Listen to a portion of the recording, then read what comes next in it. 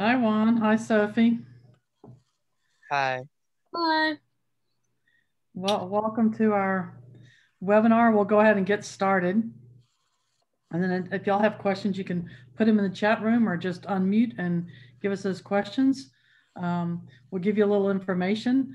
Uh, first of all, before we get started, uh, why don't just, uh, just a couple of us, tell us the programs you're interested in. Juan, go first. Tell us what program you're interested in.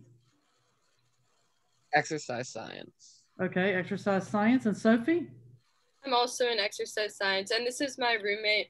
She as I'm well. also exercise science. Oh, great. Very good. Tell, what's your roommate's name?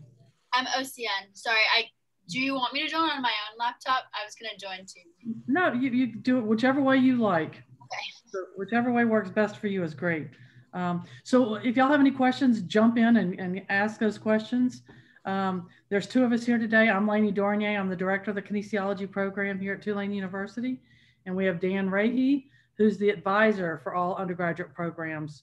So both exercise science and health and wellness. It's good knowing y'all are both in exercise science. So I'll give a little bit more information and Dan can too about the exercise science program here at Tulane University. Uh, so a little bit about SOPA. Uh, so, some people don't know, but SOPA was actually founded back in the 1800s. It was the first continuing education class, first offer continuing education classes in 1886. And so we really were developed as a part of Tulane University to offer applied programs to adult learners. And we continue to do that today. So even though our focus is on applied programs to adult learners, we actually offer, our, we, our programs are available to a wide variety of students, both traditional Tulane students that are just entering college, as well as adults who may have been out for several years and coming back to school to earn their degree. So we really think that uh, adds to our programs. You could be in a class both with 18 to 21 year olds that are in college for the first time and 40, 50, 60 year olds who are coming back to college to continue their education. So we think it cre creates a really diverse pool of students and creates some really nice dialogue that can happen in our classes. Um, so our programs are offered both online and on ground. The exercise science program, the undergraduate exercise science program is predominantly on ground. And that's because the majority of classes in that program are science oriented classes and they're more difficult to teach online. We do offer some classes online, so you will have the opportunity to take some classes online. Um, some of those classes will be the more the, the entry level classes like kinesiology 1500 and kinesiology 3110, which is sport and exercise psychology. Our faculty, we use both full-time faculty and adjunct faculty. So some of the faculty teaching our classes are actually experts in the field that they're teaching. So for example, um, the, the person teaching our uh, exercise physiology class is actually the swimming and diving coach here, but he actually has a PhD in exercise physiology.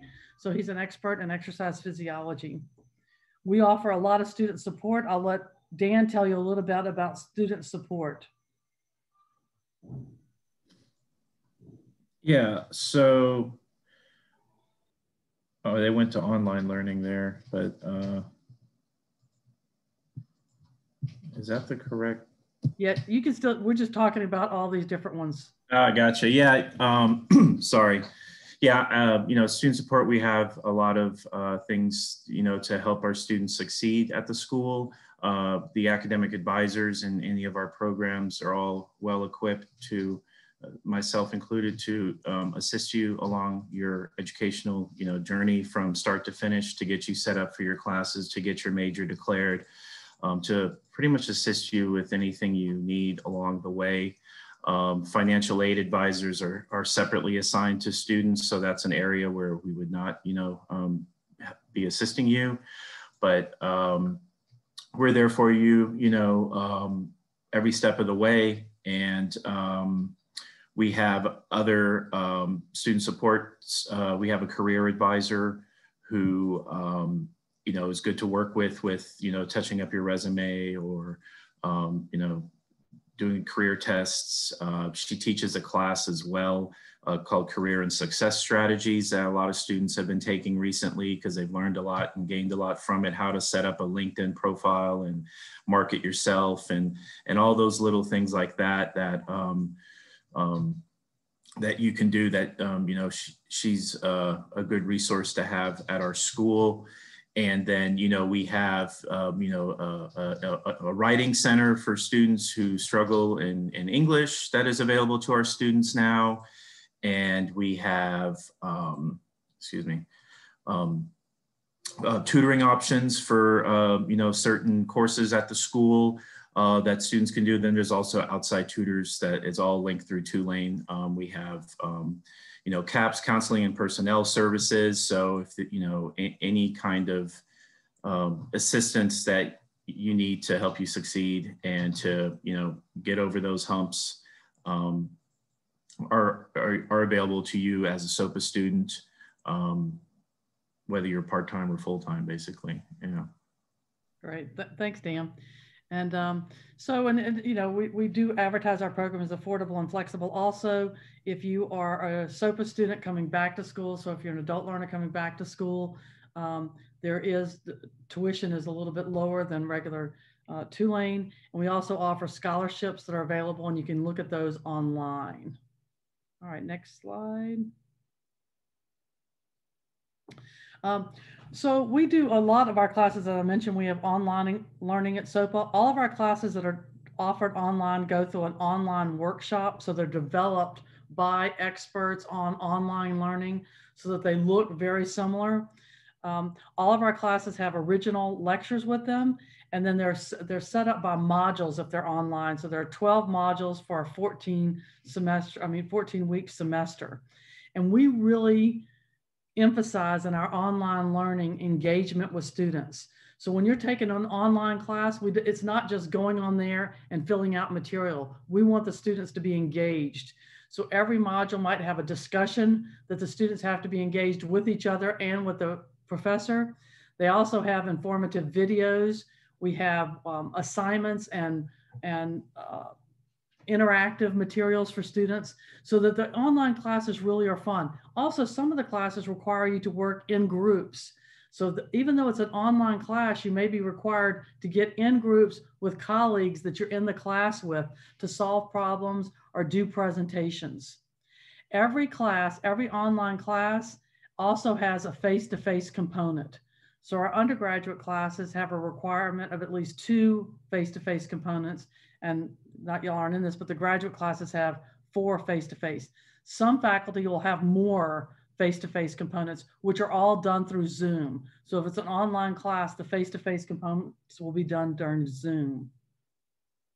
We do want our students, even in online learning, to focus on communication skills. So you may have to do presentations and actually do videos that you have to upload to the Canvas site. We do have a lot of online classes. So here's a slide that tells you a little bit of overview. We had uh, a little over almost 1,400 students completing over 12,000 hours of online coursework in the last year. We have eight master's degree, 11 graduate certificates, and four post-bac certificates that are all offered online. So we have 320 courses that are all developed to be taught online.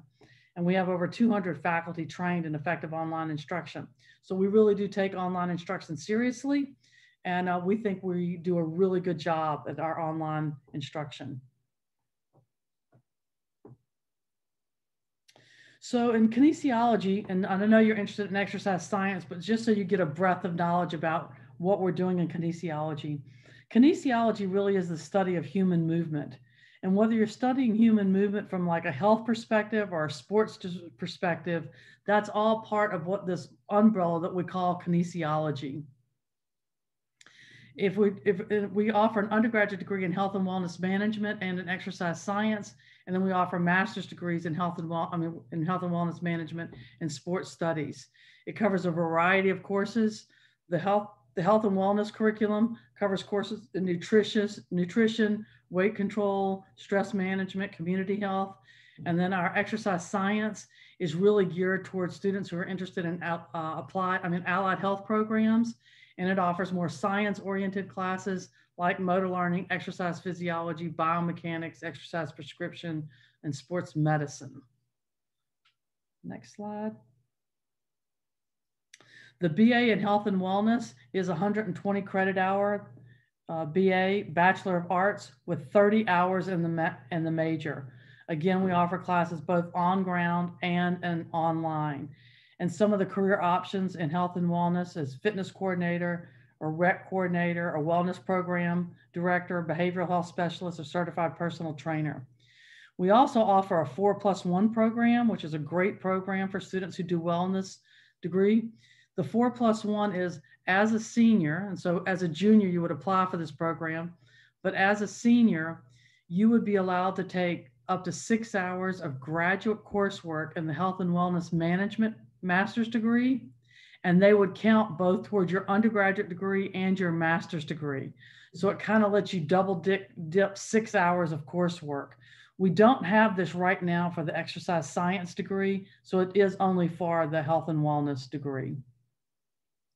And it kind of gives you a speed up on finishing that master's degree because you will have finished six hours as an undergraduate before you actually start the master's degree program. So it's a pretty good program for those in health and wellness. Next slide. The, uh, what you what you are all interested in the Bachelor of Science in Exercise Science. Again, it's a 120 hour credit program and it has 40 hours in the major. It is available on ground or a combination on ground and online. There are very few courses offered online in this degree program. The uh, introduction, kinesiology 1500, and the sport and exercise psychology and the motor development are the only three that are offered online right now. But uh, a lot of students interested in this program are interested in going into allied health programs like physical therapy, occupational therapy. And our program is designed to complete the requirements for most allied health programs. But if you really are interested in a, going to an allied health program, I would suggest that you look into that allied health program, look and see what the requirements are to get into that allied health program, and make sure you're completing the requirements for that program. There is some flexibility in your general ed requirements under science and under humanities. So if a particular allied health program that you want to apply to offers a course that we don't require, I would encourage you to take that as part of your general ed requirements in uh, science or humanities. This one doesn't have a four plus one program, so that should probably come off of the slide. Um, we don't have the four plus one in exercise science. However, you do need to be aware that in the exercise science program, there is a sequence of classes that are required. And so if you're interested in this program, make sure you look at that. For example, EBIO 1010 or CELL 1010 are required in order to take the anatomy and physiology. And then anatomy and physiology is required be able to take exercise physiology and exercise prescription. So there is a series. We do have new anatomy and physiology classes. Prior to coming up fall, the only anatomy and physiology classes were the SCEN 3030 and 3040 along with their labs. And those are cadaver labs. Those are cadaver classes. They're very difficult to get in and our students sometimes had difficulty getting into them. We've now created a new SOPA section of anatomy and SOPA section of physiology. And they are SCEN 2030 and 2040 with the associated labs. And so you'll see that if you list, if you look in the required classes for kinesiology, it now lists the SOPA sections, which are the 2000 level. Those are a little bit different than the 3000 level. The 2000 level courses are taught as anatomy for one semester and physiology for the next semester. At the 3000 level, it's anatomy and physiology intertwined together across two semesters. So for example, if you start taking the 2000 level, you need to take the 2000 level for both classes. If you start with a 3000 level, you need to take it for both classes. You can't switch them. And you have to take the adjoining lab associated with each one of those also. So make sure you're aware of that when you start the exercise science program. All right, next slide. We do have a post-bac certificate. The post-bac certificate is a six, six courses, undergraduate courses, And this is for individuals that have already earned a bachelor's degree that may want to come back and kind of learn a little bit about health and wellness or kinesiology um, that, that maybe that would help their field. So it's a post-bac certificate. And it's only in health and wellness. We don't have it in exercise science. Next slide. We do have diverse faculty, and I kind of mentioned this earlier. This is some examples of our faculty, but we have adjunct faculty who are actually experts in the area that they're teaching. And so, for example, one of our faculty, R.T. Hill, he teaches biomechanics and uh, the human body, and he's actually a physical therapist, and he works in physical therapy in and around the New Orleans community. We have Irina Terashenko, who teaches in our graduate program, and she is actually a national champion pickleball player and coaches tennis and she teaches a coaching class for us. So that's a great uh, advantage for us. Tyra Mitchell is a former chief physical therapist at Ochsner Health, and she teaches a lot of our exercise science programs.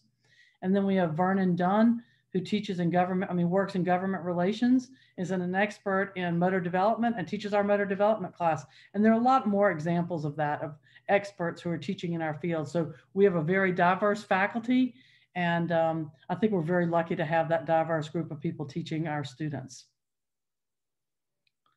Next slide. Uh, Dan talked a little bit about this, but we have academic advisors. Dan is the academic advisor for exercise science. And so if you have any questions, you can work with Dan. Our goal when you start a program is that we want to make sure you're able to walk across the stage four years later and get your diploma. So we're going to help you as much as possible in order to do that. But part of the job is going to be on your shoulders too. It's your job to make sure you go to class, you study, you do a good job in classes. But if you get stuck and students get stuck from time to time in their career, make sure you reach out to either Dan or me, or we have lots of other support staff. Dan mentioned some of those. Cynthia Washington is our career advisor. And so make sure you let you, you, you let us know if you're having trouble. Um, we also, from time to time, will have webinars. In fact, we have one. If you're in our program, you should have gotten notice about it. We have a webinar tomorrow evening for health and wellness and exercise science majors. And that's going to be, we have four people going to talk about careers in health and wellness and exercise science. And we'll do those web webinars from time to time that are people that are out in the field, working in the field, which will talk about careers in your field.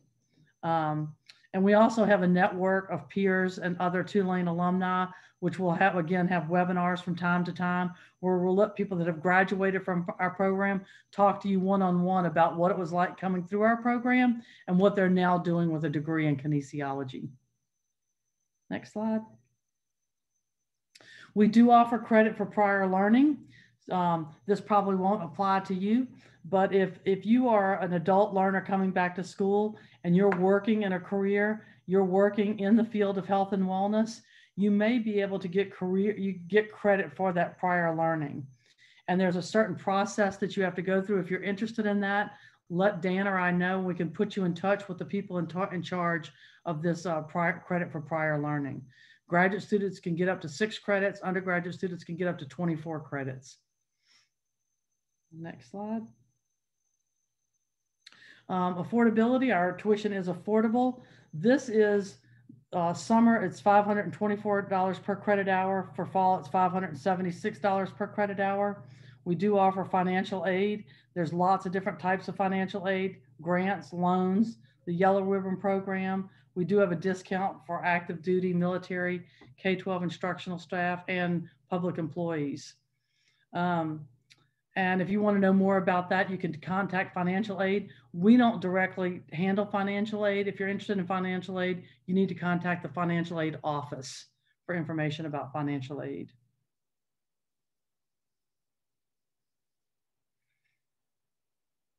Um, uh, again, if you if you haven't applied yet, applying is very simple. You can get online and complete an application fee. There is a $40 application fee. You do have to have a government issued ID. And if you have any transcripts from previous universities, those have to be uploaded. We do need all transcripts from any previous universities that, that you have attended.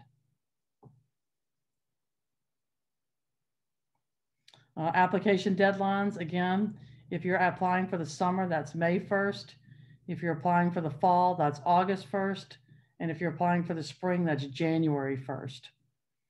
Uh, undergraduate students who enroll in courses by those dates are eligible for a one-time discount of $200 off their tuition. So it's a pretty good deal and great reason to go ahead and apply if you haven't applied yet. Anything else you have to add, Dan? Um, yeah, no, just back to the, um, with the application fee, it'll actually be waived for you by attending this webinar. So they will, once you apply, they'll have, you know, a little database of the webinar attendees, and then that'll automatically, maybe not right away, but, um, but, but that'll get waived for you. And so, um, that was one thing. And then the other thing too, with, uh, you know, supporting you and your educational endeavors and everything as well, like our faculty are great and um, very supportive of our students and understanding of, um, you know, how some are coming back to school or going to school for the first time and whatnot. So in addition to, you know, if you are struggling and stuff like that, I also suggest you develop a good relationship with your teachers um, in your classes and because that could be really helpful um, as well to you know um, come up with a plan to you know whether you need to get caught up in the class or or anything else you know and they have a lot of good career advice at times as well for you because they work directly in the field for the most part so you'll pick up a lot of tidbits from them too i think that aren't going to be in the textbook necessarily um, that'll be helpful and beneficial to you um, in the future but uh, but yeah, I think you know student support success. Yeah, I, I think I'm I'm good. If y'all have any questions for me or for uh, for Dr. Donier, then yeah, um, go ahead and unmute yourself and or type them into the chat or any anything else comes up. Just feel free. Yeah. So does anybody have any questions that's on the the webinar?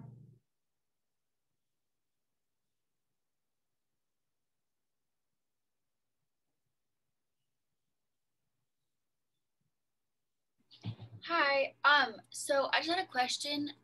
It doesn't really apply to right now because, um, but through the um, signing up for classes process for next semester, I noticed that one of the classes I cannot remember off the top of my mind right now. Sorry, but um, we had to pay like seventy five dollars.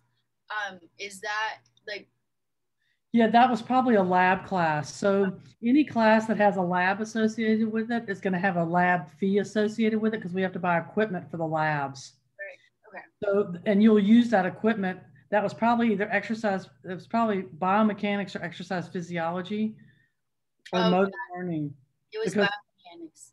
Yep, because those those will have a lab and you'll actually be doing things. That's an on-ground class and you'll be doing things in the lab that uses equipment. Got it. Okay. Thank you. So that's a really good question because there's a lab fee associated with any classes that have a have a lab. It's the same for um, the anatomy and physiology. So the anatomy and physiology have a $150 lab fee, and if you take the 2,000 2000 level lab, it's a it's an online lab, but then that pays for the virtual lab edition that you'll be using in the class. Yeah, But and that'll be like, oh, sorry. I was gonna say that'll be like, you know, when uh, we were talking about like taking, checking in allied health programs to see what kind of prerequisites and, and whatnot that they require, you know, like if you're gonna go take chemistry one and two and physics and stuff like that through the school, um, they will count towards your degree, of course, um, but those will likely, I believe, have um, a lab fee associated with it as well. And um, I did see that Julie had a question about the post-bac. bef- yeah, Um, I'll cover that a little bit. Sure. I just wanted to mention though too that the real quick before you do that that the post-bac is actually eight courses for 24 credits um, and not six to my understanding. So uh, I just wanted to mention that before you. That is right. It is, it is a, yeah. And the post-bac is really for somebody that already has a bachelor's degree. And so you don't have to have a bachelor's degree in exercise in kinesiology, you can have a post-bac in a related field and come back and get, you know, the, the post-bac in health and wellness. So it's eight classes, 24 hours. That is correct.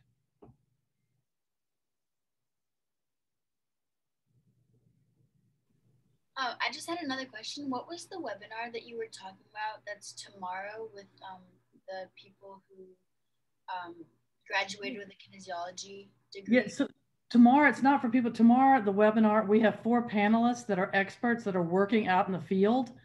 And they're going to talk about what they're doing, their jobs that they're doing. They have a variety of jobs, and they'll talk about the jobs that they're doing.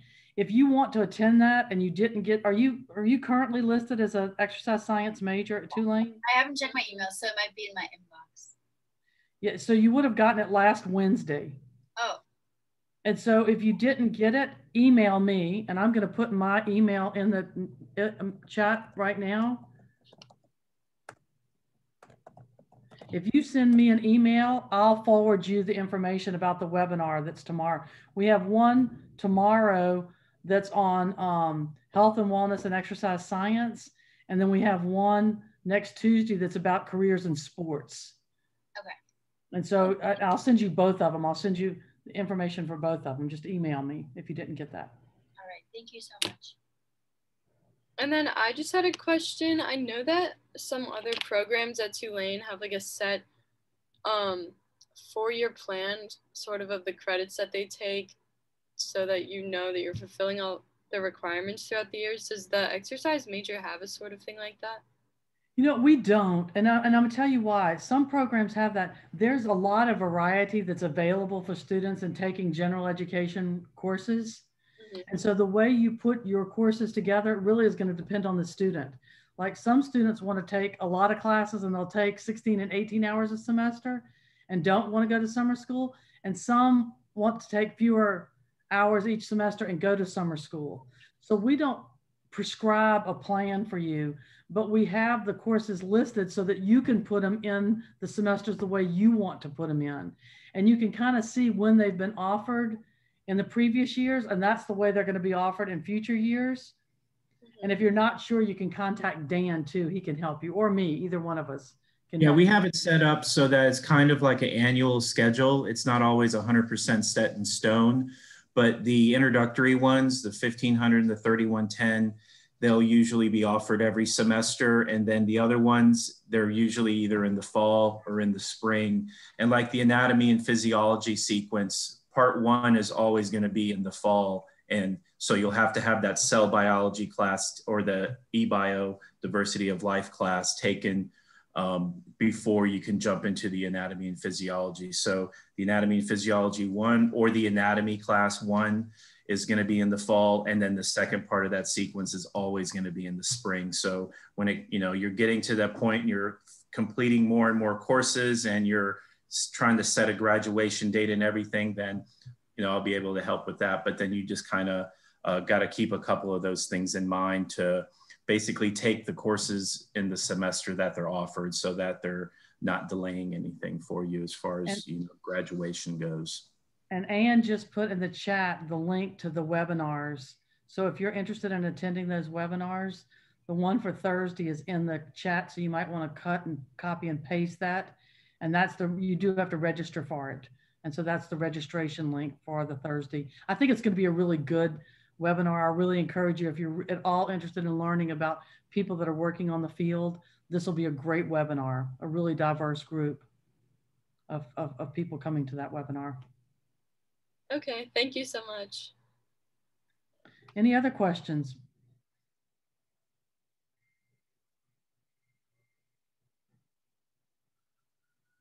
If not, everybody have a great day. Thanks for coming.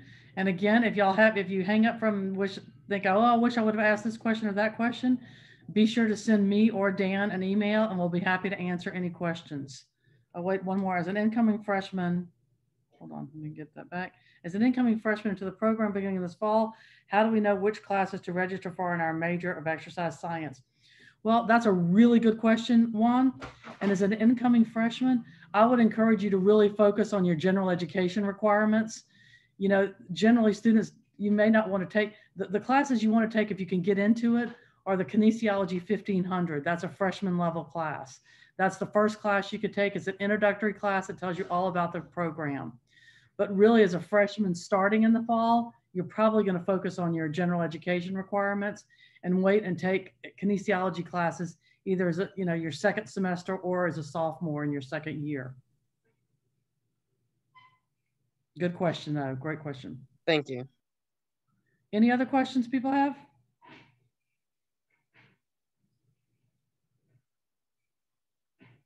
All right, thanks for attending and uh, everybody have a great day and a safe weekend.